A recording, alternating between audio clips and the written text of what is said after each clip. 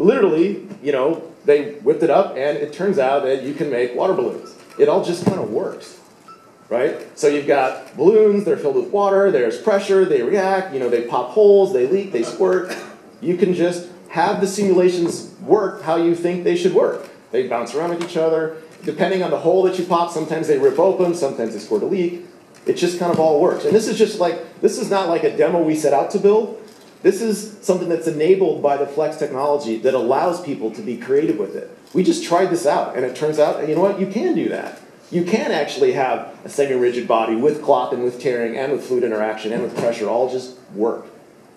So, I mean, this is, and we kind of saw this working like, you know what, you could probably do a pretty fun little game just throwing water balloons or splashing stuff or, you know, then of course, then there's the other side of it. It's like, now I can imagine characters being built with fluid inside, you shoot them and you know, stuff happens and, you know, we're in the game industry, right? And, you know, I want to have people explode and have, you know, I'm sure we'll have all sorts of, um, you know, fluids squirting out of characters uh, anytime soon now. so this is pretty cool. So the, the last one we're going to show you, um, it's just because we can, frankly, um, is just we're kind of showing off. This kind of combines a whole stuff, a whole bunch of stuff. Fluid simulation, fluid rendering, water, splashing, rigid body, soft body, interaction, mass, kind of the whole kit and caboodle. There's foam and spray in the water. Um, and this is just, because it all works, we, we just can.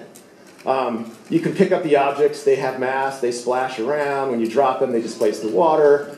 You know, um, we can go ahead and splash the whole thing around, and you get waves and turbulence, and all it all flows, and it just all works, and you get foam and spray, and it just it's how it should be. Right? This is um, this is pretty exciting stuff.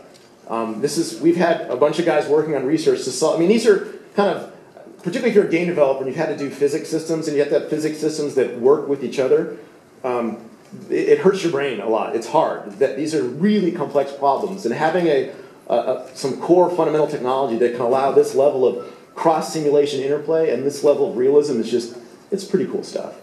Pretty exciting stuff. So I can't wait to see what folks are going to do with this next year. Pretty awesome. So this is Flex. This is one of the first technologies we're announcing. Again, coming to PhysX uh, next year.